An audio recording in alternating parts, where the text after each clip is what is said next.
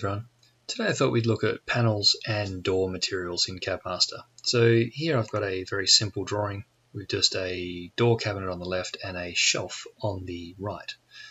If we come into the drawing properties, you'll notice up here in the job setup we have a door material and we have a panel material. I'll come back to this button here, panel as door. These are a little bit more explanation.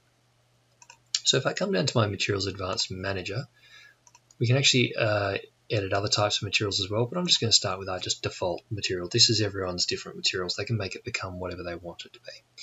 So if we manage these materials, let's go look at a door material. We do also have panels. So what I'm going to pick on is first I'm going to find a material that I know. I know exactly what it's doing at the moment, so I'm going to work from this one here.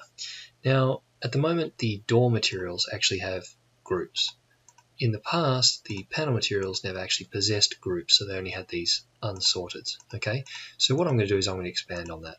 So I'm going to take advantage of this particular, uh, where is it again, 16, and I'm going to go to my gunmetal. Okay. Um, so this is now material down here is the gunmetal grey. So what I'm now going to use is I'm going to start a new material and I'm going to go with a 16 millimeter uh, cappuccino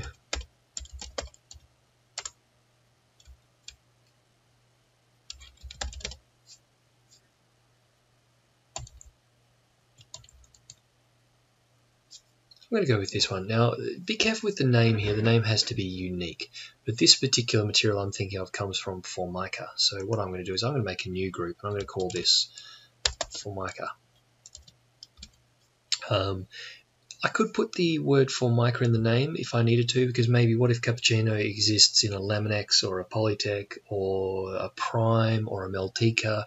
Um, what if it exists in one of those other ones? So maybe I might want to put that in the name. I'll just leave it as this for the moment. Uh, let you decide. So the brand there is Formica. This is more for reporting purposes. The thickness, thickness here is 16. The color is cappuccino. Now in the background there is lots of different colors available. You can add to these if you wanted to, but I'm just going to use something I already know is in here.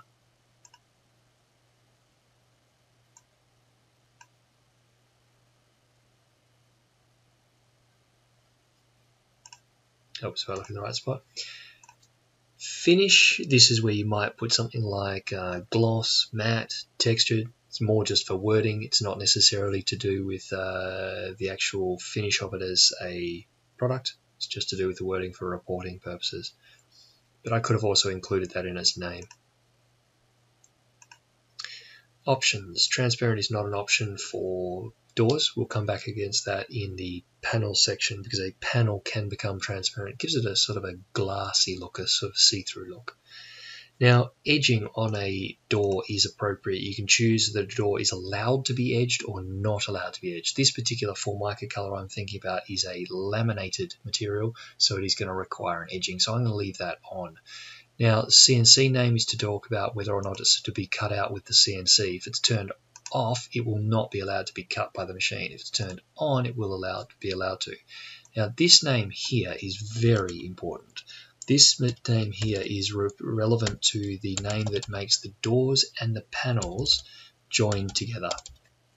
So if I have that name exactly the same, and you notice I didn't put the word door or panel when I get to the other part, I'm just calling it cappuccino. In OptiLink, similar purpose, this means the material can come out to a beam saw or not, and also if it needs to have a keyword that identifies it for that purpose. The part number is purely if it has a product code or something like that from a board supplier. So during the reporting stages, we can potentially pull forward the part number that'll give you the code for ordering purposes. In the grain section, if the particular material had a grain pattern, I would be turning this on. Uh, if it didn't, I would turn it off. It locks a rotation when it goes to machining for that purpose. In the door styles, we have different styles. You should have something picked here. Don't leave it in a state that says select like that does down there up here. It will cause a problem in the 3D uh, textured environment. The typical one is to use a slab edge banded or flat panel, whichever. It's just a flat looking door. In the case of this particular material I'm using, that is the look that I want. But you can go find different other styles, like for example, shaker panel, square framing. Have a browse around and see what you like in there. There's a few different starting points. Style is more to do with uh, whether it's got a particular name of the style, maybe it's got a, particular tesserole shape, it's got a, a name. You can put that style name in there. It also can assist with the Doormaster export if you're using that product. Pricing I'll pretty much cover in another video, but this is where you can go do the materials price, okay? So now I'm happy with this particular material as it's set up. I'm going to save it as, okay? So it's going to automatically save that material.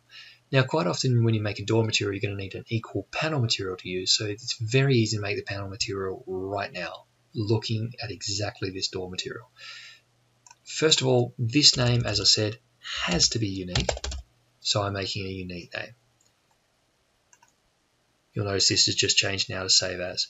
So when I come up to here, I can go to the panel, change it into a panel category. There's pretty much nothing else I really have to change here because this now material is exactly the same, but it's in the panel type. Edging is not appropriate, like it can't not edge, it always has to edge as a panel. Yes, it could be grained, yes, it could go to the beam saw, it could go to the CNC, whatever you're doing. Pricing, it also has its own price. You will notice actually there's a page missing.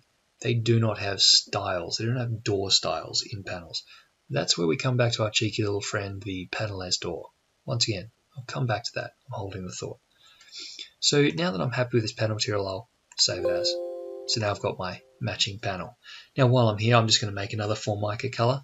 I'm going to go with uh, this time a color calm gray.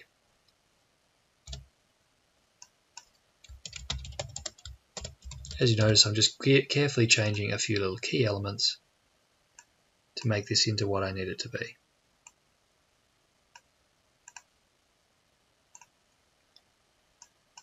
Very important, needs to change. Don't want to machine that at the same time as the other one. That'll be a bit of a problem.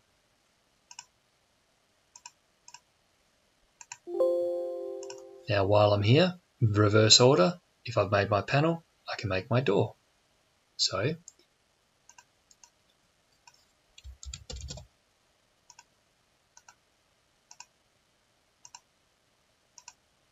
same, exactly the same name. Now this time I need a door style, that's good. I actually have a style. Price, sure. Alright, so now let's go a little bit differently here. Now let's uh, take on a Dulux range, for example. Maybe I'm going to go pick on Dulux.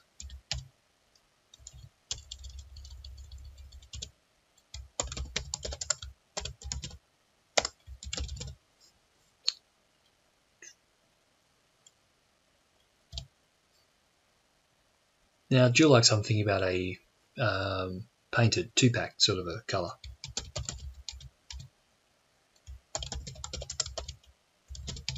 So I'm just making necessary changes.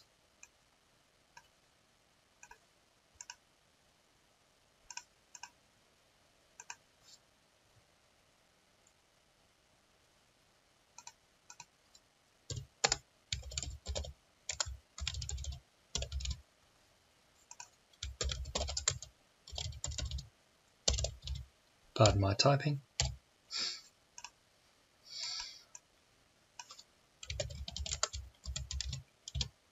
Now I've gone with just that name this time because this particular material is probably based off the exact same stuff. In fact, probably here, I might actually drop that name because they're all going to be 18 in my opinion.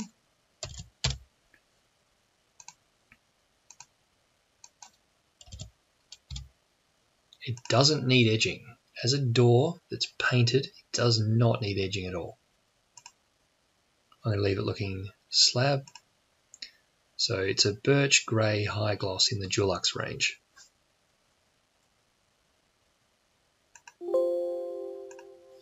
Now while I'm here, I'm also going to make another one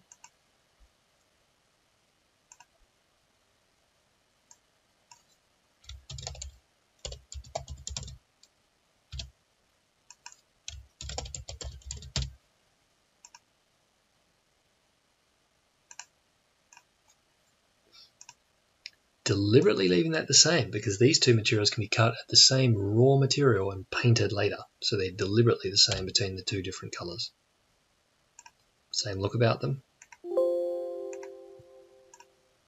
Now, in this particular scenario, I'm not actually going to make a panel material because in this particular style, I don't actually make my panel. In fact, I'm actually going to turn off something. I don't actually CNC this particular material. So here I am just editing it.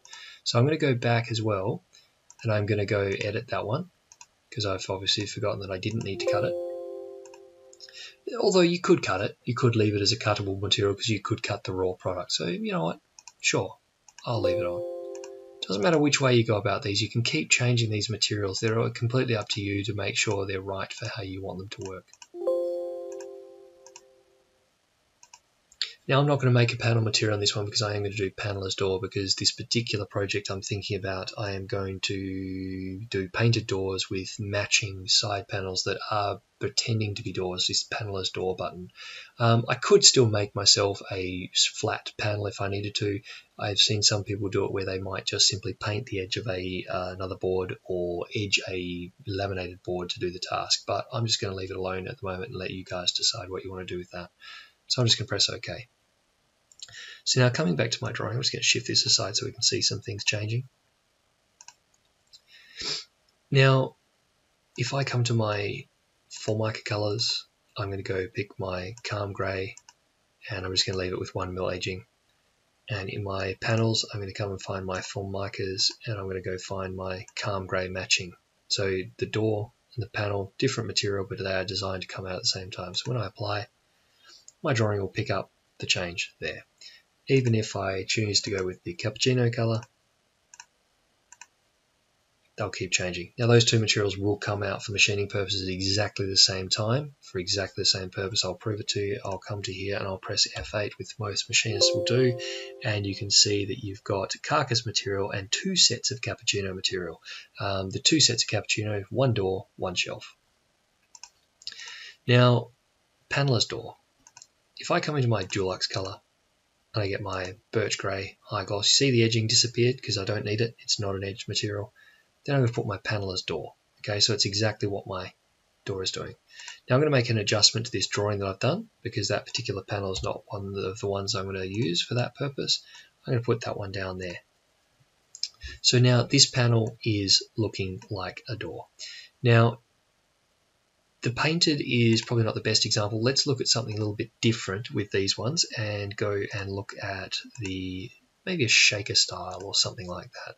So yeah, sure, I'll take the Ebonite High Gloss uh, and I'll call it a shaker door.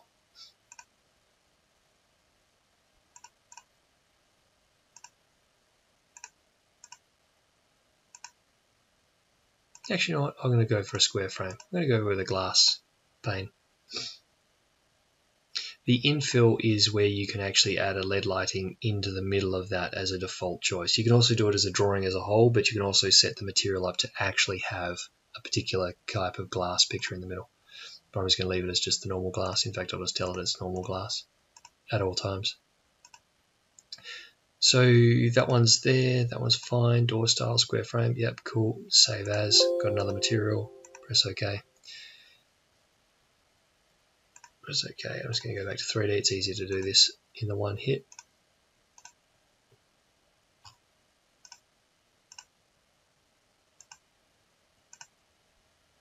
I think my panel's back the other way, so I'll probably have to change that. Yeah, it is.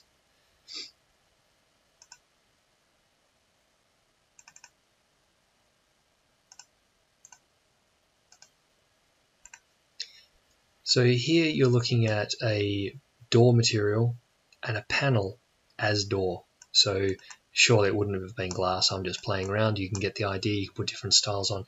But this is where the panel as door is appropriate. Uh, normally, though, there's a difference between a door material and a panel material. Alrighty, well, that concludes our panel as door. Please stay tuned for some other materials videos. Thanks for watching.